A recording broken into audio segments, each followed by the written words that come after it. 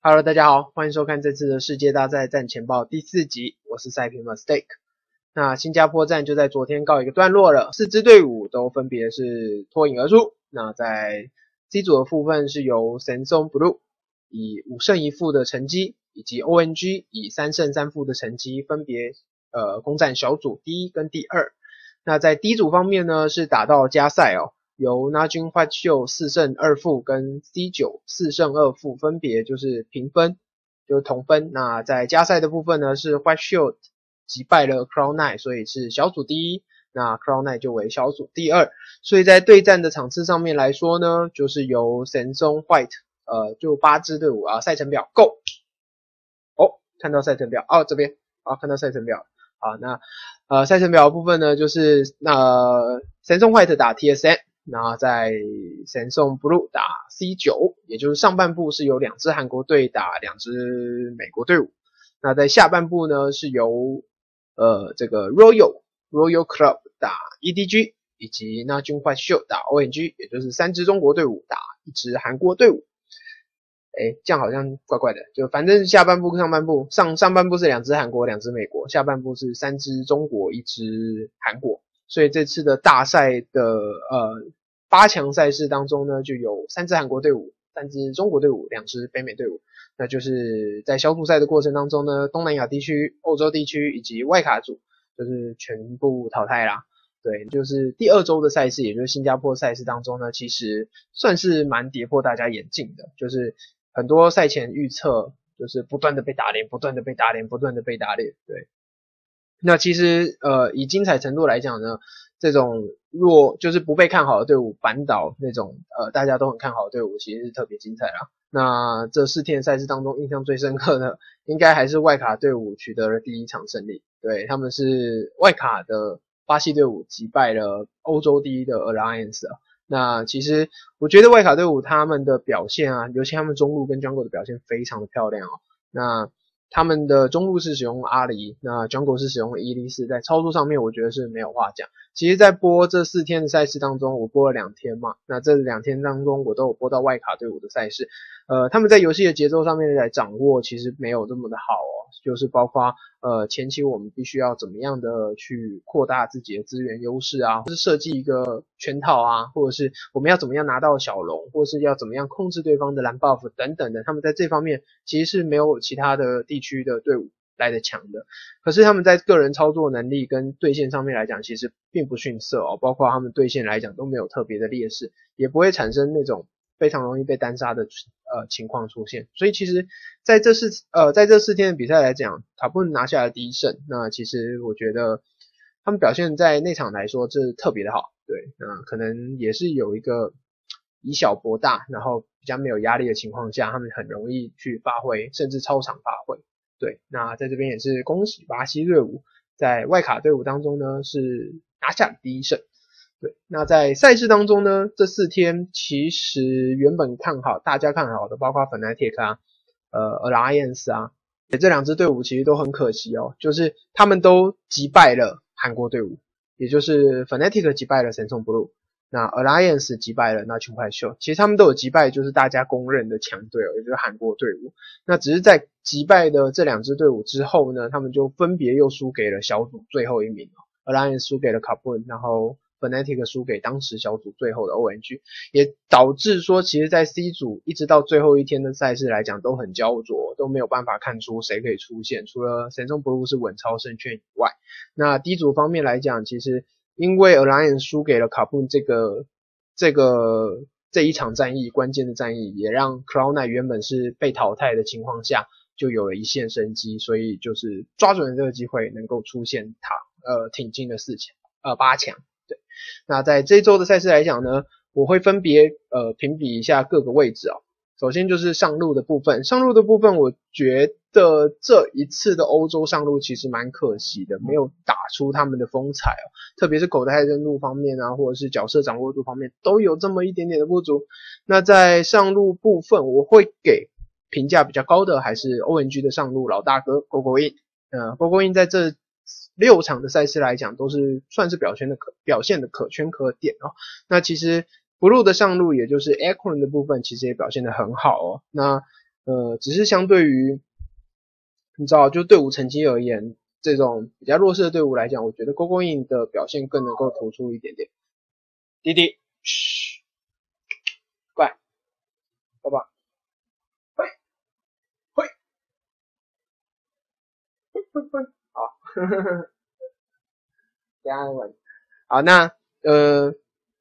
呃，刚刚讲到 Acorn，对 Acorn 部分，其实我觉得还是表现好。GoGo In 可惜的地方就是它的帽凯掌握没有这么的优秀。那其他的部分，我看一下，GoGo In 其实在比赛当中，除了凯尔啊、Iradia、雷兹等等，都还算可圈可点。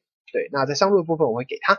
那在 Jungle 的部分呢，在这四天的赛事当中，Jungle 我觉得卡布的 Jungle 玩伊利斯的时候表现的特好。那其他 其他的角色就还好。那像 Fnatic 部分，Shuk 也是很可惜，拿到李信的时候就表现的非常非常出色，然后包括什么蹲点啊、操作来讲都很好，只可惜其他的角色拿不大出来。那这次的比赛当中，他也拿出了世界大赛第一次使用的乌龟，那没有人使用过嘛？对，第一次使用的乌龟，那其实大家都很兴奋啊，因为毕竟这只角色是冷门角，只是呃后来还有人笨他乌龟，对，那只是他。在拿不出同等类型的角色的时候，他的载制能力就稍微略显不足哦。那在这一次的赛事当中，Jungle 的位置我会给 Cloud9 的 Meteos。对 Meteos 的在选角方面来讲，他选了四场卡利斯。四场卡利斯当中，当然有好有坏啊。可是其实他对于蹲蹲点的载制能力啊，或者是他们的他的意识来讲都很不错。那其他的包括像。Watch 啊，呃，White Shield Watch，ONG 的 Lovelin 也是在拿到卡利斯的时候都有不错的表现。嗯，在这一次的小组赛当中，新加坡站来讲，我觉得大家拿到卡利斯的时候发挥都很好。对，所以就刚刚提到 Meteos 以外，其实就没有特别表现的很出色的选手。对，那就大家都差不多啦。对，也不是说特别没有出色，大家都很差不多。对，没有说让人家就哇那种感觉。卡布恩的蜘蛛我觉得算一个，对他的开战判断很棒。那再来就是呃中路的位置，中路的位置其实呃我有稍微查一下资料，在 C 九部分呢，其实呃大家都说海的海的判断啊，或他操作有点呃不怎么样之类的。可是其实我们先撇开不谈来讲，他的口袋是最深的。他在七场的赛事，因为 c r o n a 有加加一场赛事，他在七场赛事里面呢，他拿出了六只角色，所以他的口袋深度很够哦。从辛朵拉到亚素、塔隆、吉林、奇勒斯、杰，他都可以玩。对，所以呃，也就造成了说 C 九其实他们在中路方面很难针对。当然也有人开玩笑说，是因为害不需要被针对啊，这样讲也是可以啊。对，好，那在中路的布面来讲，口袋深度害掌握了一定的呃水平哦，就是他掌握一定的水准。那在中路方面，我觉得呃，那就坏秀的 Good。也就是打个棍，他表现的非常非常出色。他从呃可以用杰、用露露、用球女，哪怕是用阿里，他都表现的很好。尤其在使用杰的部分，在 Crown 奈跟那俊坏秀的这个加赛的当中，在前期打出一个三点零的战绩，然后开始呃滚动雪球。那那场加赛其实非常精彩，可以回去稍微再看一下。那 C 九选择了一个疯狂的 BD 的路线，然后来看那俊坏秀是在这边怎么样处理的。对，那中路部分就大概是这样。那在呃 AD 的部分来说呢，我觉得 C 九的 Sneaky 表现的很好，他在库奇的掌握上面来讲很优秀，在露西恩呐以及崔斯塔纳的角色呃使用上面也没有这么的逊色。那包括其他像 ONG 的闪呃闪黄啊，或者是呃 Shield 的 Zephyr 啊等等的，其实呃他们的这一次的系列赛当中表现的都还可以。所以在 AD 位置来讲，我会。私心比较会给 Sneaky 啊，Sneaky 的表现稍微好了那么一点点，而其他的 AD 选手其实也不错。那在当然 Fnatic Records 也也很棒，只是他有点孤城无力回天的感觉。应该说 Fnatic 的呃他们的战术套路很容易让资源全都集中在 Records 身上，所以在他们的获胜的场次来说，就是 Records 在 carry，所以他的战绩会非常的呃非常的猛。勇猛，那可是如果输的情况下，通常也就是 racos 比较没有办法去拿到这么多资源，又打出一个不错的会战啊，因为他队友可能就会稍微比较瘦弱一点点，因为资源可能都集中在 AD 位身上。对，那我是看稍微，我是稍微看一下平均表现啦。当然 racos 我觉得在 Carry 的时候，在优胜场次来讲打得非常 Carry，是这是没错。那可惜的就是他没有办法在劣势局当中呢站出来，或者是。跳出来能够 carry 他的队友，对，这是比较可惜的部分。好，那在 support 方面来说，我觉得，呃，Lemonation 私心给 Lemonation 比较好的评价啦。他在这次赛事当中呢，拿出了四次真纳，一场纳米，一场两场摩甘纳，也就七场赛事。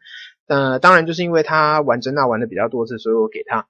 哦，当然不是这样。其实呢，他在呃会战的判断上面来讲，我觉得表现的很好。其实可以稍微回去看一下 C 九的场次来讲，有打到会战的部分，其实呃 Lemonation 对于技能使用的把握啊，包括位置上面的判断，以及呃释放的时间点，其实都还不错。在游走当中也不会。这么长的被单抓掉，哦就是呃，其实在这场赛事当中可以看到蛮多队伍的辅助，包括 ONG 的打七啊，或者是呃其他的队伍辅助，有时候在于布置视野的时候会产生被单抓掉的可能性哦。其实 Lemon Lemon Nation 在这一方面就比较少一点点，所以在这次的表现当中，我觉得 Lemon Nation 的表现算是比较好的。好，以上就是稍微这一周的回顾及点评。